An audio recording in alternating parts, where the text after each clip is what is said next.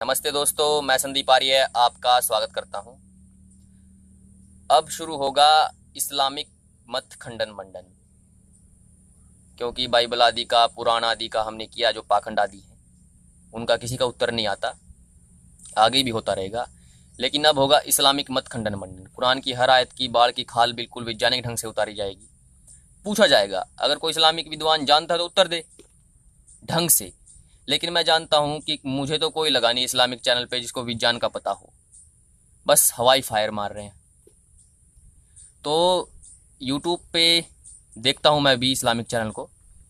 तो उनमें से एक बंदा है, वो थोड़ा मुझे लॉजिकल लगा।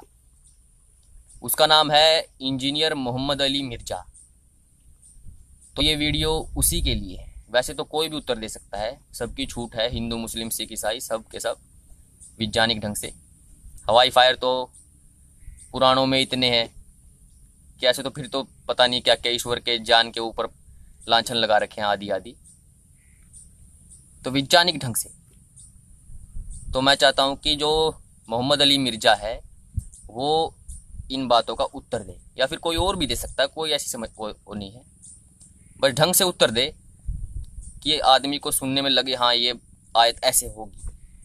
तो कुछ आयतें हैं उनकी तफ्तीश है। तो शुरू करते हैं। कुरान सूरा अल अंबिया आयत है उनतीसवीं ट्वेंटी नाइन क्या काफिरों ने नहीं देखा? अल्लाह ने क्वेश्चन किया है। क्या काफिरों ने नहीं देखा कि आसमान और ज़मीन दोनों मिले हुए थे? बस हमने दोनों को खोल दिया और हमने पानी से हर शय को ज़िंदा किया। तो क्या फिर भी वह इंसान ईमान नहीं लाते? तो इसमें क्या समस्या है इस आयत में? क्या काफिरों ने नहीं देखा? अल्लाह क्वेश्चन करता है कि ज़मीन और आसमान मिले हुए थे, क्या काफिरों नहीं देखा? तो जो अल्लाह को ना माने, मोहम्मद को रसूल ना माने, जिबरील, मिकाइल को ना माने कि ये हैं भी या नहीं भी, वो काफिर होता है। सीधी बात यही है। सूरह अल बकर में इस बात का ज़िक्र है। तो क्या काफिरों ने नहीं देखा?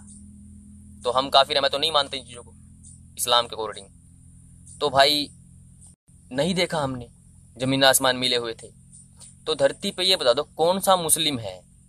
चाहे वो पैगंबर मोहम्मद हो, उसने देखा। तो मुझे ये बताओ कि किसने देखा कि धरती आसमान मिले हुए थे? कि अल्लाह स्पेशल कह रहा है कि काफिरों को, क्या तुमने नहीं देखा ज़मीन आसमान मिले हुए थे? और इसमें कोई अलंकार मेटाफर सिमिले आदि आदि भी नहीं है? सीधा क्वेश्चन पूछा गया है। क्या तुमने नहीं देखा? तो तो मुस्लिमों ने भी नहीं देखा। काफिरों क्या बात है? और ये बात संभव ही नहीं, क्योंकि कुरान में है कि ज़मीन और आसमान मिले हुए थे। आसमान का सिस्टम बाद में लेंगे अभी सिर्फ़ इसी क्वेश्चन का ही हम समीक्षा करेंगे कि ज़मीन आसमान मिले हुए थे, अल्लाह ने उनको खोल दिया अलग अलग किया। फिर उसकी धरती की मिट्टी से आदम बनाया गया, फिर हवा बनी, फिर उनको इबलीस ने बहका दिया, धरती पे आ गए, फिर मनुष्य जाति चली। इस्लाम के अकॉर्डिंग। तो वहाँ पे कोई था ही नहीं। तो ये क्वेश्चन तो वैसे मुस्लिमों से भी नहीं बनता, अल्लाह का। क्या तुमने नहीं देखा? और मुस्लिम कहते हाँ हमने देखा था, हमने तो काफिर उन्होंने नहीं देखा। कोई भी नहीं ऐसा। मैंने बहुत सारे मुस्लिमों से पूछा, क्या तुमने देखा था? वो कहते नहीं देखा। वो देखते भी कैसे?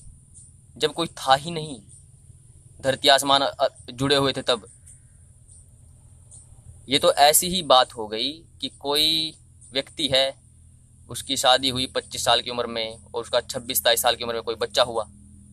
और वो अपने बच्चे को कह रहा है, क्या जब मैं पंद्रह वर्ष का था, क्या तुमने मुझे देखा नहीं? तो वो बच्चा क्या जवाब देगा? कि मैं कैसे देखता? अब ये फ़ोटो वोटो वाली कंसेप्ट नहीं है कि अल्लाह ने किसी दिन डीवीडी वीसीआर दिखा दी कि देखो धरती ऐसे जुड़ी हुई थी। नहीं, किसी को नहीं दिखाया। तो ये तो इलॉजिकल क्वेश्चन है। बच्चा दस साल बाद पैदा हुआ है। तो ऐसे ही इंसान धरती आसमान अलग होने के बाद ही बना है इस्लाम के अकॉर्डिंग तो अल्लाह ये बात भी नहीं जानता था कि भाई कोई था ही नहीं तो देखेगा कैसे? काफिर जवाब क्या देगा इसका? मुस्लिम भी नहीं दे सकता कि उन्होंने देखा। तो ये बात इलॉजिकल है बिल्कुल। ईश्वर के जान के विरुद्ध है। ईश्वर कुछ जानता हो और फिर भी उसके विरुद्ध कुछ कार्य करे।